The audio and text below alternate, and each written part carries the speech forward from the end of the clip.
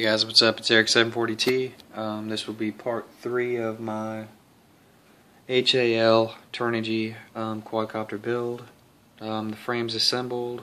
Just don't have the uh, motor mounts on the side yet. I uh, mounted the. Uh, I'm using my multi-wii. I'm gonna try to work with this because I really don't like the KK2 all that much. So what I did was that little the power distribution board I showed you to make. Well, heat shrink all that, and then wrap it up with a little uh, electrical tape. Zip tie the two uh, nuts together, and then you can run them out from underneath the board, and the board will fit right over the top of this. And I put a piece of foam in between, uh, under stick stuck to the bottom of the board, just to make sure like no interference comes through to the board. Uh, yeah, other than that, just a little nylon uh, nuts. You can add more things if you want to go up with it. Uh, and I mounted my ESCs like this.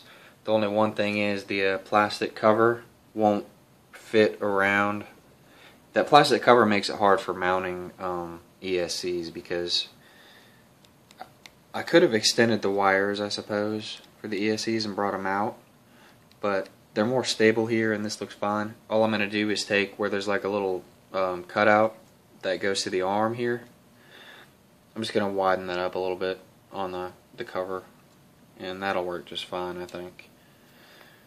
Uh, other than that, that's about as far as I'm going so far. Got my motors, wire up the uh, multi-wii uh, the GPS module will have to come and I'll have to find a little hole on the top and uh, mount the GPS module on top of the um, right on top of the the little canopy thing.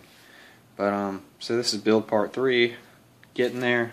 I really don't have a whole lot to do. I'd probably have this thing flying in an hour but I'm kind of taking my time and figuring this out because this frame's not very friendly with ESC placement or power distribution placement. You just kind of gotta put it all in here and then modify. You could probably find different ways, but this is what I did.